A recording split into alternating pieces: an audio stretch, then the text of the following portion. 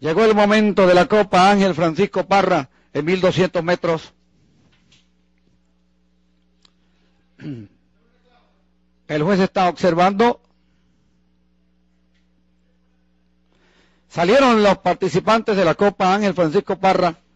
Viene por la parte central Steeler a tratar de pelear el primer lugar con Chantus.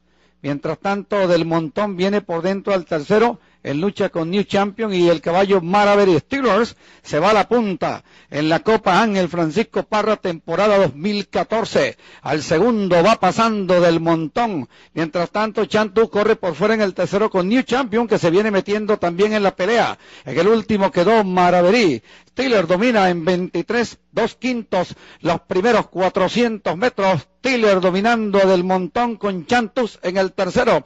En el cuarto corre New Champion y Maraverí anda en el último lugar. Tiller tratando de dominar, pero del montón se lanza por dentro y lo rebasa. Ahora Chantus amenaza con avanzar por la parte exterior contra el puntero del montón cuando entran en la recta final. 46 dos quintos en 800 metros. Chantus por fuera y del montón por dentro. Están decidiendo la Copa Ángel Francisco Parra. Domina del montón con Chantús en el segundo, adelante del montón, le pone punto final a la Copa Ángel Francisco Parra, aquí está la meta, ganó del montón.